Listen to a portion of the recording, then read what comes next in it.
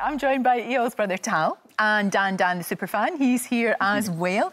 Good to see. What's it like seeing your little baby brother talking about things like sex and things and being on the telly? Do you know what? We've lived together for a long time now, just us three brothers. Right. So it's kind of we've all gone into adulthood together, so it's something that you know I'm kind of used to. Right. So because he, he comes home and tells you all about it. Well, yeah, we all much. tell each other, yeah, of course, of yeah. course. So maybe we should just film that. You three guys yeah. talking. but how do you think he's coming across? I think he's very much being himself. Um, you're, I guess you're always going to get people that that don't like someone, um, but I'm very proud of the way he's he's carried himself and the way he's treated everyone. And I think, yeah, I think he's doing a good job. Yeah. And what about your parents? Are they okay with all of this, especially now as it gets to the stage where?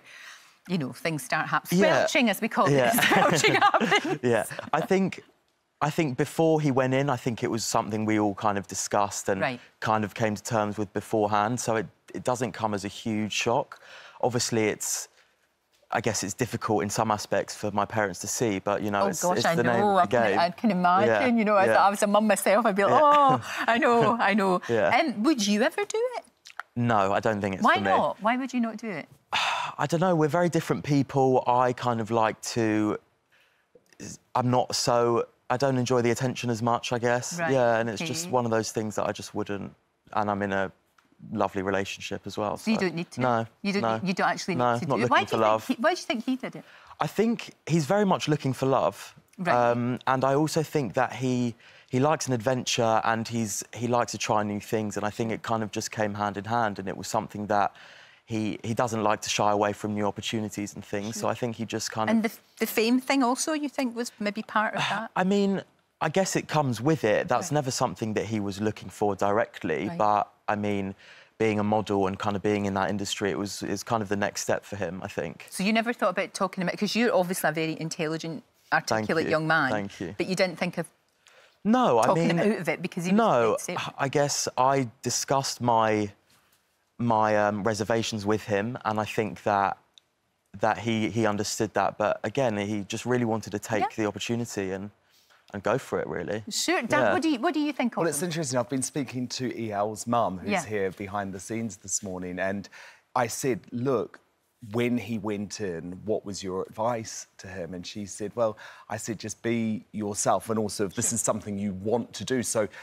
I don't think it's like families ever actively encourage their kids or their brothers or sisters, to do that. go into a show like Love Island. But at the same time, you've got to be supportive. And I think we do forget sometimes how difficult it is for the families of the contestants on these shows who, of course, haven't chosen to go in themselves, Mm. have the whole country making judgments about Yes. their children, which obviously we've done. But I think with Eyal in particular, my view is that this is only going to be good for him. You know, he's a male model. All of a sudden, he's the most talked about male model in the country, Lorraine. He's got that incredible Hebrew name, so everyone now remembers exactly who he is. And he's going to be in huge demand to do lots of modelling work once he comes out, if nothing else. And maybe will now come out with a girlfriend as well. Exactly. Right. So it's, it's there's no losers in this situation. I don't think there are. I think it's a lot harder for the female. That's what I was just about the girls, For example, Rosie, who was a lawyer who's given up her career, Yeah. then the reality is she will be judged professionally for being on a That's show really like bad, that. isn't it? That we judge the women more than we judge the, the men. Yeah, and, but, but know- I but I think we also have judged Alex, who's the NHS doctor who call. who left the the practice in Wales. So I think for Eyal it was very very different. He's a top model. He's a free spirit. He's very open about himself, his body. He's not ashamed for having sex on television. Then actually.